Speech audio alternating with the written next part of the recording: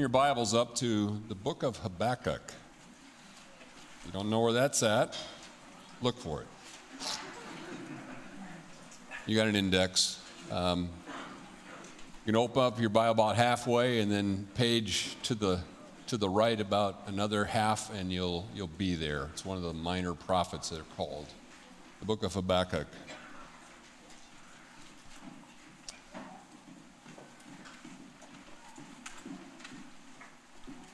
Lord, it's hard to follow up.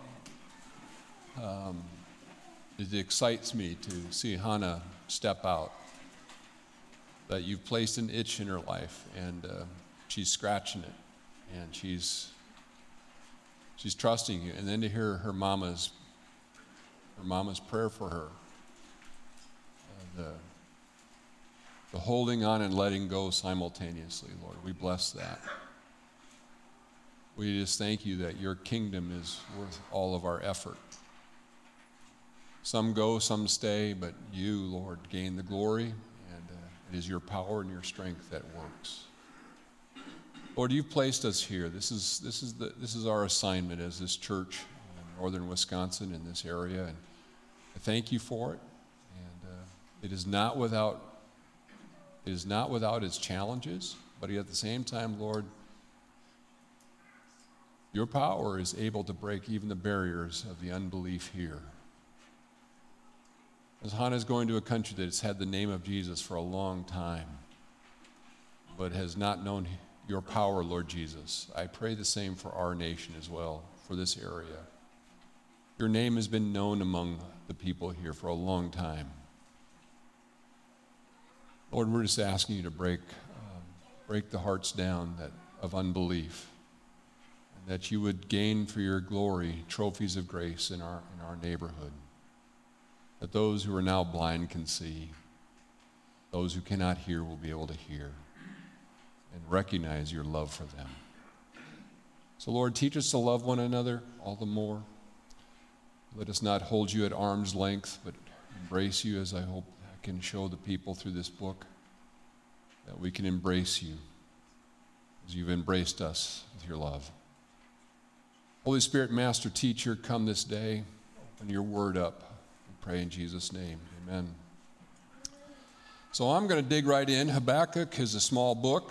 Um, and for this series, I'm going to be using the ESV. I just, um, in, the, in, in past years, uh, we've take, I've taken you through some of the scripture books. You can just take a book and we, we tried to go through them systematically, just having you read portions and uh, so that's what I'm doing this time. This is where this is my this is my study booklet. You know, it's just a little book of Habakkuk and a couple of the other minor prophets, and write my notes in here as I sit in my office or I sit in a coffee shop and study or wherever I can.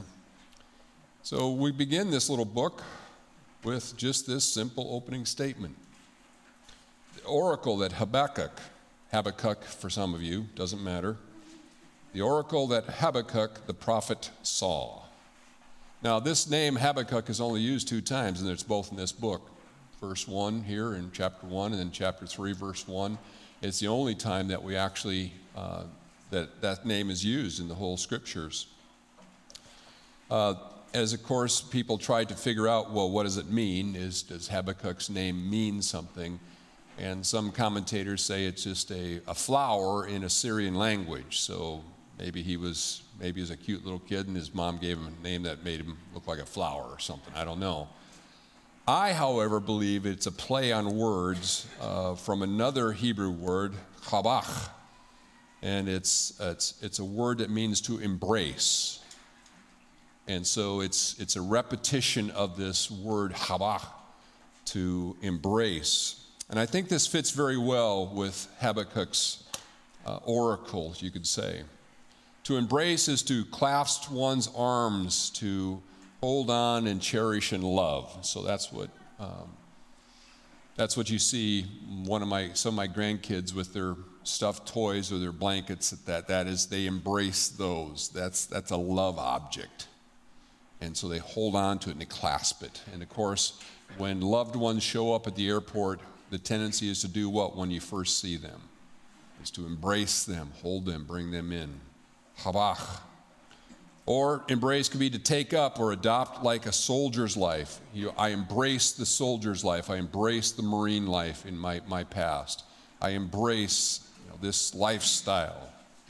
Or it's to comprehend or take in, to embrace it, to hold in, you know, just to hold it and say, yep, that's, that's something I want to keep. So Habakkuk may have been his real name, or maybe it was just his pen name, maybe it was a nickname. Uh, regardless, the idea of embracing, I think, fits this book really, really well. Embrace your God. I, that's the title that's I'd put over this whole series that I'm going to go through over these next four to five weeks. Embrace your God. book of Habakkuk. So, what's he saying here? He says, the oracle, the communication of God. Uh, it's also a word that means to be a weight or a burden. In Numbers chapter 11, we get into Moses' life a little bit. Now, Moses heard the people weeping throughout their families, so they're on, the, they've escaped Egypt, they've gone through the Red Sea. God's parted the waters, He supplied many times different ways, and yet they still are like Americans. Every time the gas goes up, we get grumpy. They complain. So Moses is in a portion here where they're doing it again. Now Moses heard the people weeping throughout their families, each man in his doorway of his tent, and the anger of the Lord was kindled greatly, and Moses was displeased. So Moses said to the Lord, This is fun. Why have you been so hard on your servant? Why? Why? Why have you been so hard on me? Why have I not found favor in your sight? That you have laid the burden of all this people on me. That's the idea, of the burden. So Habakkuk is, is spilling out a burden, a weight that he seems to have, and he, he knows the sourcing of it, and he goes to God and says, Hey, why this weight? Why this burden? Well, so there's a weight and there's, I would call it freight to the words of Habakkuk because of God's way. Habakkuk is having to deal with God's way of doing things. And I think we do too. I think sometimes we bear the weight of how God does things. So here's the book of Habakkuk. Here's this little book to help us. And then it says what he saw. What did Habakkuk see? What was revealed to him? Was it a visual? We don't know. Was it a uh, vision or a dream? Again, we don't have enough information. Was it a text message, maybe? Maybe he was one of the first cell phone users. All we know is that what he saw was something that God revealed to him. And Hebrews 1 1 also brings up this whole thing. God, after he spoke long ago through the fathers in the prophets, so I can say he has spoken to us through this little book of Habakkuk in many portions, in many ways. Then, of course, the writer of Hebrews goes on and says, God really spoke to us in Jesus Christ. Christ Jesus is the main spokesman for God the Father.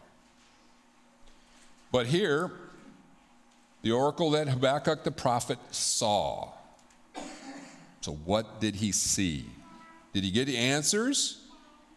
Yes, but he doesn't, God doesn't give a press release that's complete. Reporters hate when politicians hold back. Just tell us everything. And I think we wrestle too sometimes when God doesn't tell us everything. There's something about that. And so Habakkuk, but God says exactly what needs to be said when he needs to say it. So the first thing that Habakkuk sees is himself. Let's read verses 2 and 3. I'll just read the whole. I'm only going to go through the first three verses this morning anyway. Oh Lord, how long shall I cry for help and you will not hear? Or cry to you violence and you will not save? Why do you make me see iniquity? And why do you idly look at wrong? Destruction and violence are before me, strife and contention arise. So the law is paralyzed, and justice never goes forth. For the wicked surround the righteous, so justice goes forth perverted. Habakkuk is just honest. The first thing he sees in this is he sees himself. He sees himself and he says, I don't like what I see. And what I see is hard. It's a burden. It's, it's, I don't want this. We don't want this. Why is this happening? And why aren't you doing something about it? So, the oracle and the burden of Habakkuk in these three chapters that we have are broken down into three components. I think I have them listed here. The complaints of Habakkuk is what we just looked at. And then we're going to get his second complaint. He didn't complain enough. so, he's going to complain again. But in between there, and before and after, in the between, we have God's responses. So, we're going to see the Lord's responses next week. And we're going to look at another one of his responses in the second complaint. And then the last chapter is a, a prayer psalm. The last chapter is Habakkuk and us, I hope, um, dealing with the ways of God and embracing them, and embracing Him, and trusting Him when things don't seem right. So Habakkuk is a dialogue. It's, it's, it's much like the book of Job. Um, there's dialogue in the book of Jonah as well between Jonah the prophet and God. And so there's, brothers and sisters, I believe it's really important that you and I learn in our, that a lot of times when we pray, we're dialoguing with God. There's a back and forth. And of course, uh, most of the time, He speaks to us in such a way that we when you open the Bible, you open his mouth. So we are opening God's mouth in the book of Habakkuk over these next few weeks. But then there's a dialogue that goes on. There's a back and forth. And sometimes our prayers shouldn't just be, you know, nice little rote prayers. I think there's a place for rote prayers, actually. I think just like when we, we pray for certain people in a certain way, I think that's good. But I also sometimes think it's really important that you learn to dialogue with God. And I hope we can see that this morning a little bit. This is a dialogue, one we get to listen in, in on, and then we get to respond. And then, like Habakkuk, I think we can practice some of this dialogue technique. This is not just information. So when you people come up here north from somewhere down south, and they stop off at the visitor center out there, a lot of them go and come out with a bunch of brochures, information about our area and what they can do while they're up here. What happens to most of those brochures? You've done it yourself, haven't you? They're probably, how many of you got a stack of these things in your glove compartment of your car? Yep, I got a hand. Yay! They're just right there, and they sit in there. Well, this information that God gives us is not to be like brochure information that we just kind of peruse once in a while and throw it in the glove compartment of our car.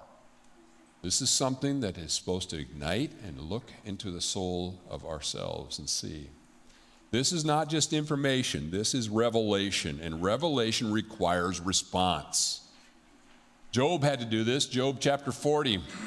And the Lord said to Job, Will the fault finder contend with the Almighty? Let him who reproves God answer it. let him let him answer. And then he goes on, I think, do we have it? No, maybe it. Nope, that's it. So Job is finally got God's opened, opened his mouth in such a way that Job hears him that way. And Job realizes right away who he's talking to. And so then he goes, I better shut up. I better listen.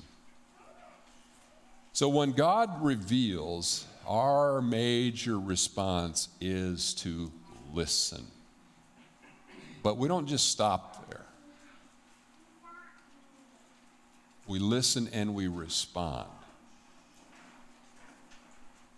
So, life events can open our mouth life events can open our mouths to God. Do the life events around you open your mouth to God? That's what Habakkuk is doing here in these first few verses. The events of what's happening in his world open his mouth up and he addresses God. And it's a complaint.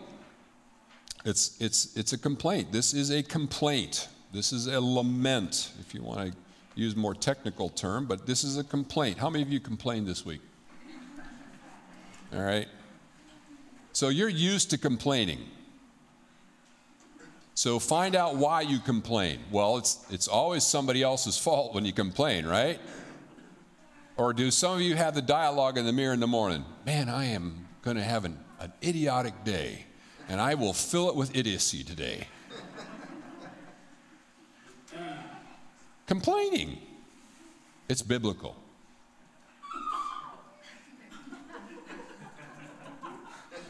Don't laugh. This is biblical. God, I think, has given us the ability to complain and lament that we may dialogue with Him.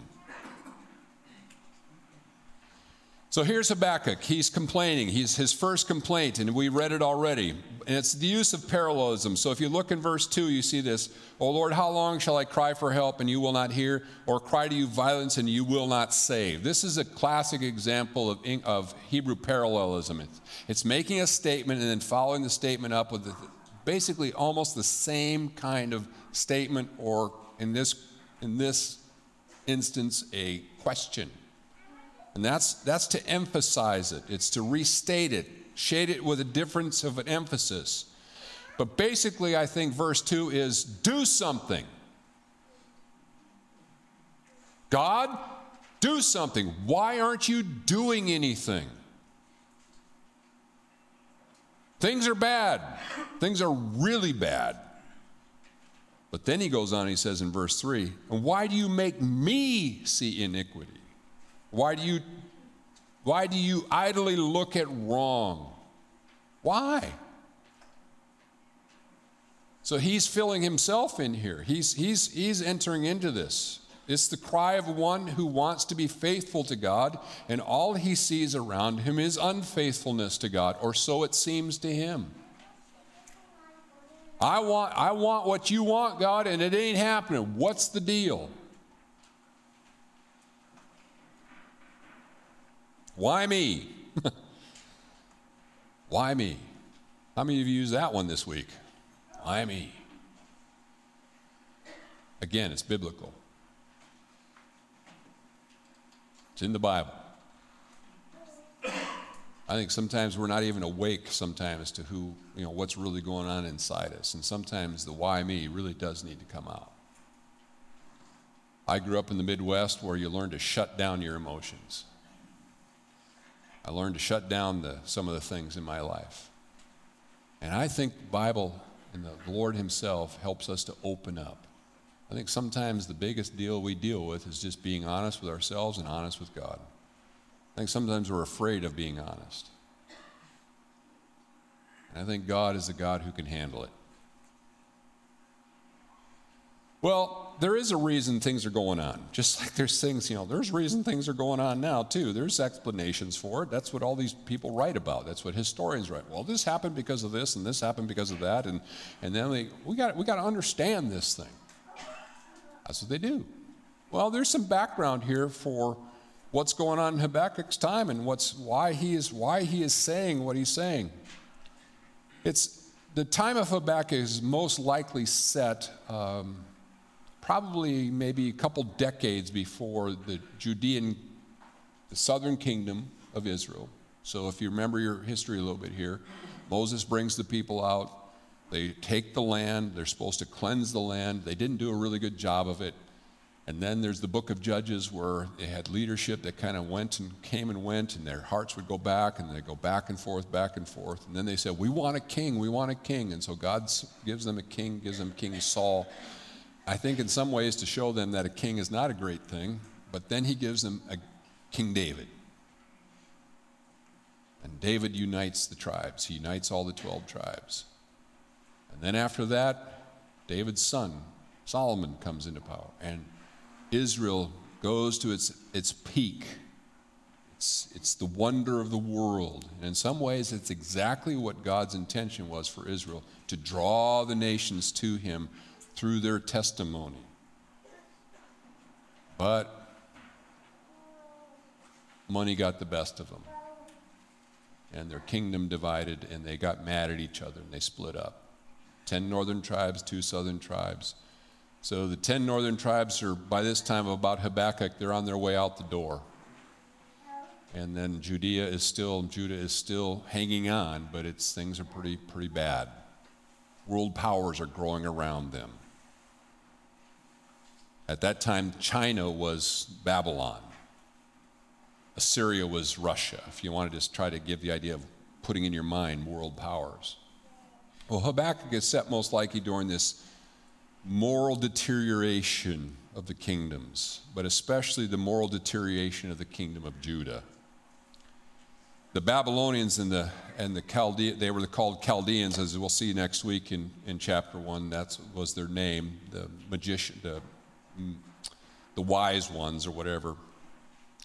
But in Second Chronicles chapter 33, I'll just read some background here for us in this, what, what he was facing.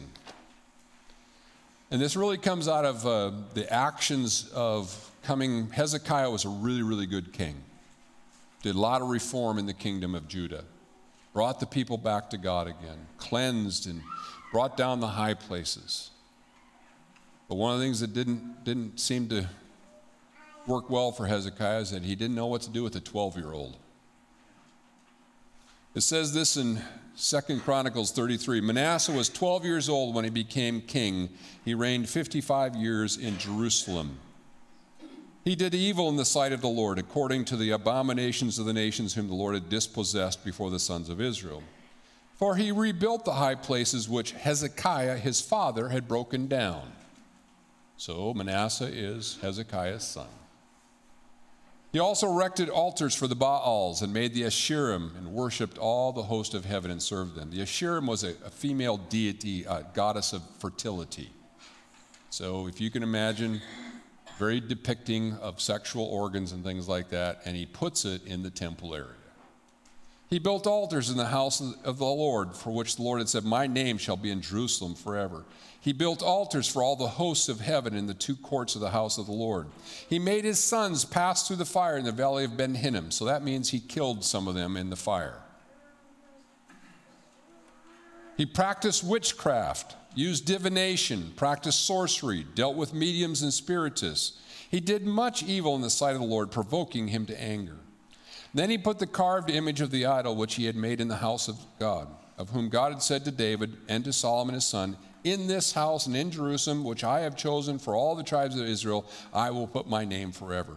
I will not again remove the foot of Israel from the land which I have appointed for your fathers, if only they will observe to do all that I have commanded them according to all the law, the statutes, and ordinance given through Moses.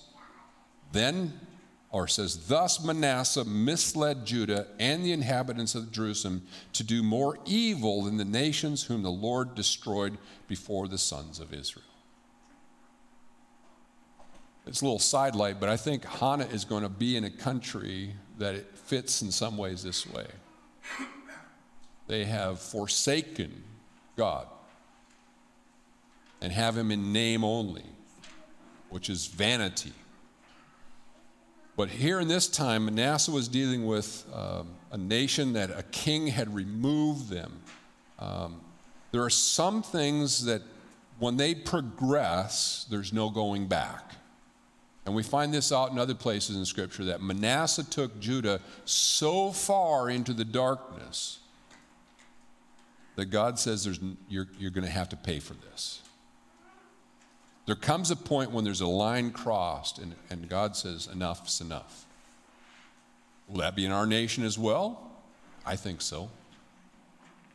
There comes lines that a nation crosses and they can't come back again. Now, God is gracious, God is merciful, loving kindness, full of faithfulness. But it's in the midst of this darkness that many times He saves people. But He doesn't save whole nations, He judges them.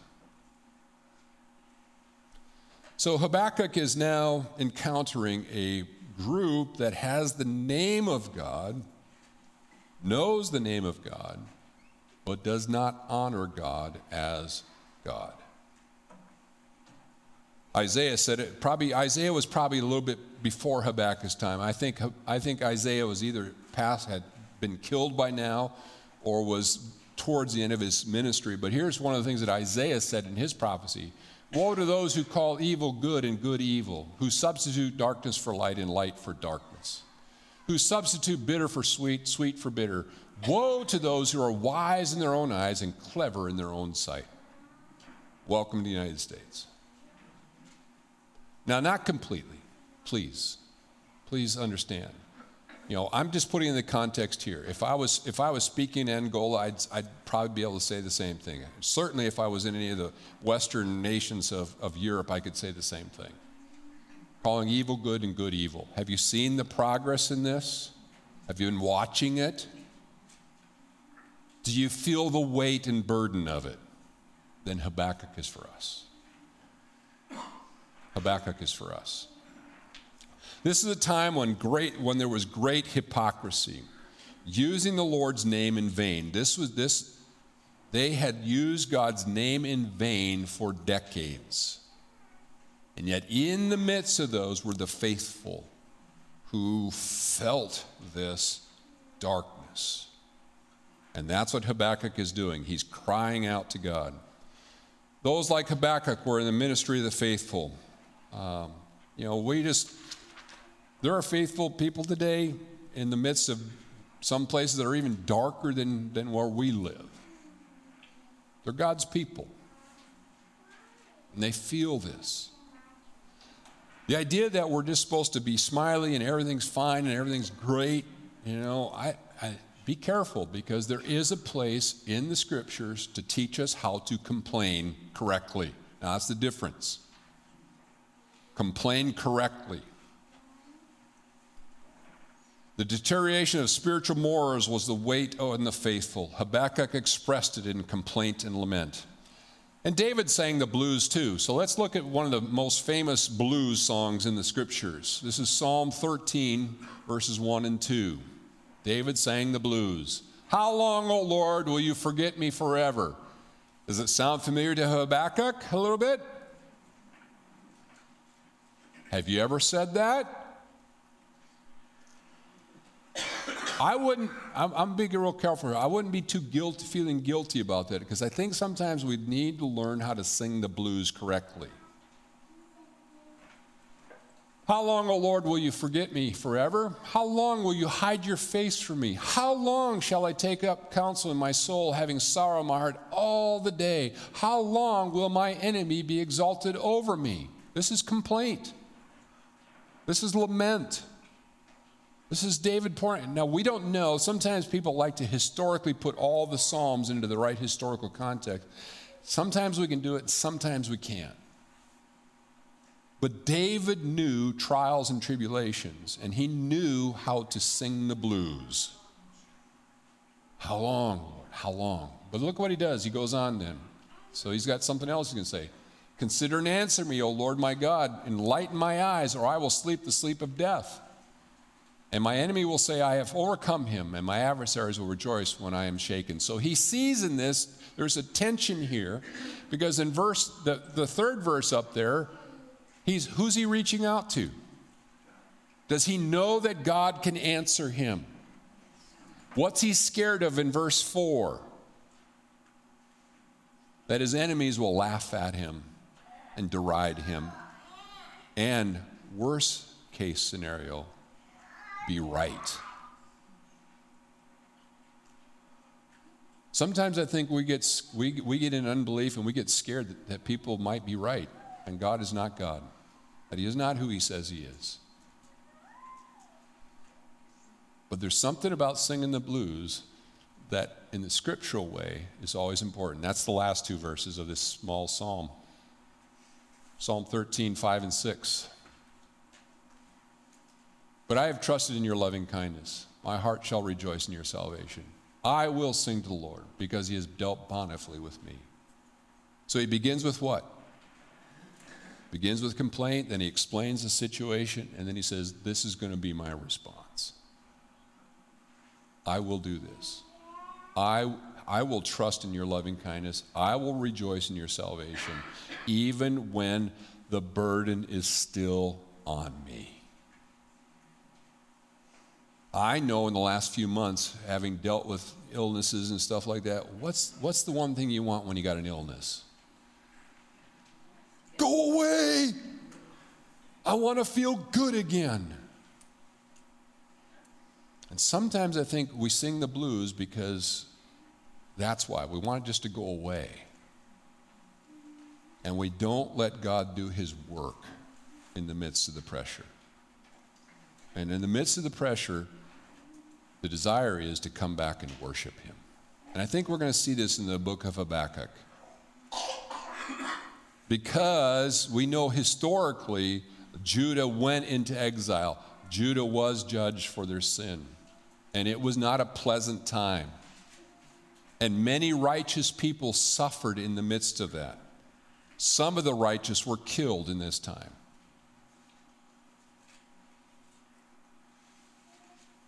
But God be praised, his ways are better than ours.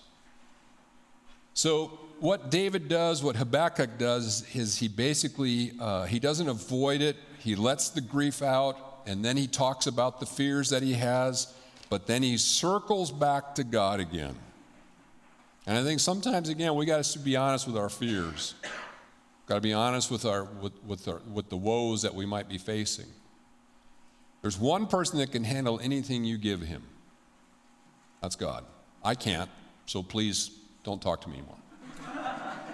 No, just get the idea. Do you ever get do you ever have people come to you with stuff and go, and you go, I, absolutely have no idea what to do.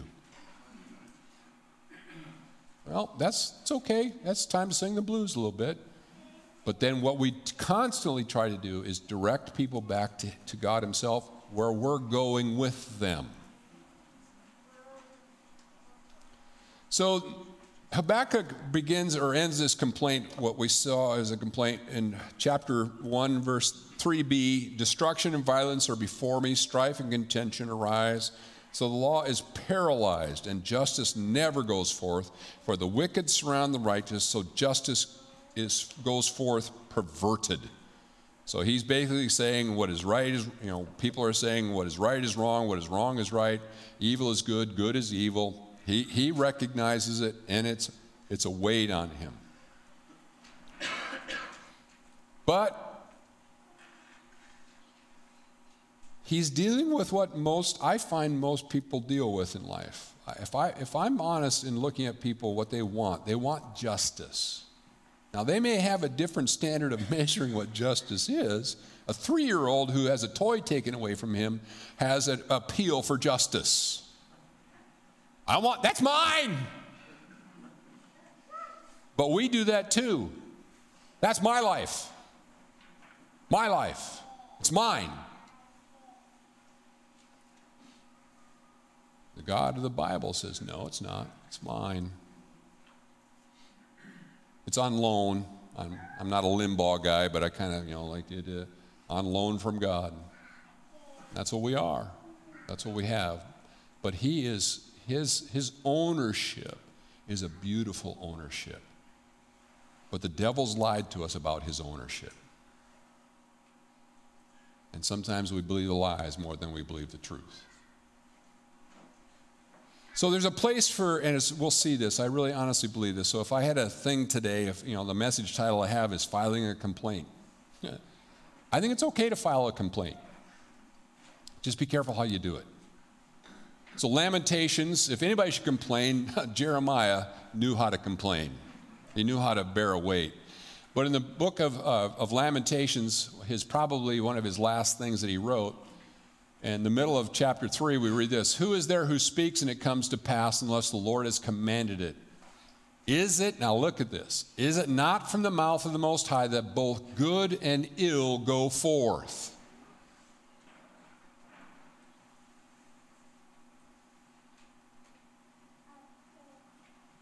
How many of you wanted to snap your fingers to deal with Ukraine? Or anything of that matter? Look at that. Look at, oh, go back. Who is there who speaks and it comes to pass? Unless the Lord has commanded it. Huh. Hold these things when you read the news. And probably going to have to wrestle just like Habakkuk. Why aren't you doing something about it? The law is paralyzed. Here's the law that God has given, and it doesn't seem to have any effect at all. It's numb to the situation. That's what Habakkuk says in his complaint. But Jeremiah, in his complaint, goes on to say this Why should any living mortal or any man offer complaint in view of his sins? Now, wait a minute. Here I am telling you, as pastor, go ahead and complain. Trying to balance the complaints out a little bit. Let us examine and probe our ways. Let us return to the Lord. Let us lift up our hearts and hands towards God in heaven.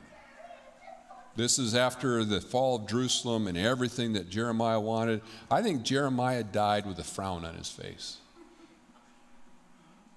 And yet, I think his reward is great. But this is what we got to do. So, why should any living mortal or any man offer complaint of view of his sin? So, we, we, we catch that, we, we get that. Um, many times, somebody else will remind us of that too. You know, Angie and I go back who's the pot and who's the kettle?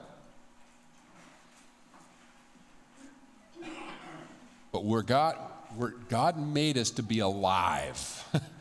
he made us to be alive, to experience, to feel, to know, to seek that's what we are. So we want to make sure that that is a direction that we have then. So there's a place, I really honestly believe there's a place for the blues. There's a place for us to, you know, to offer, if we want to use it, complaint. Um, I think from Lamentations, we learn that we, we should be careful. We should look at our complaint, where it's coming from. Um, but the one thing that what we're trying to do is in the complaining is is that we're trying to look at life as it should be and it isn't. And I think many of us know that. It should be like this and it is not. What do we do with that? So what was what's Habakkuk's solution? That's one of the things that we're going to answer as we go through this letter. And I really believe it comes back in some ways to the title that I've given to this series is that in Habakkuk's name is, the, is, is, is in some ways the key to the whole thing in the first place. That's that Habakkuk in the end embraces God. Knowing that he doesn't, he, he, God does not have to answer every one of his questions to his satisfaction. That God has a purpose in what he does, even when it doesn't seem like it and he embraces that. So we have to ask what was Habakkuk's solution to the problem? Well, we're going to see that. But I'm going to, I'm going to speak as I close here with words from our Lord Himself.